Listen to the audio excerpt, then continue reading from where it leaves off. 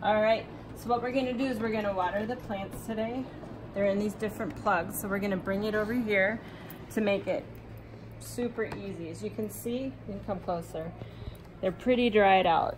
So what I'm gonna do is I'm gonna water each of these plugs. I use my hands to control the water and to direct it so it doesn't come out too hard.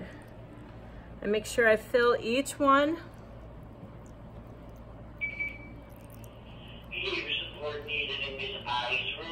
There we go.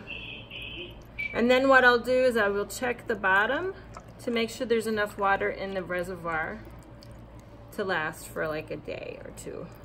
Okay.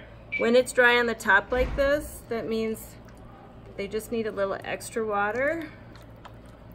And otherwise what happens is it won't wick the water up once it's in the reservoir. So if you can see over here, you can see how this is dry already.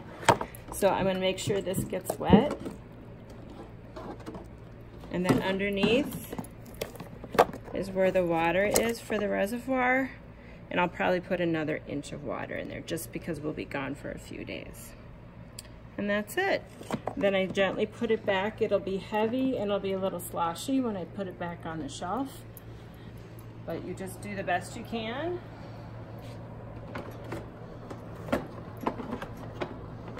And then quickly I'll show you over here how to lower. And if I'm gonna lower, I'm gonna hold it here so it doesn't fall and then slowly adjust it.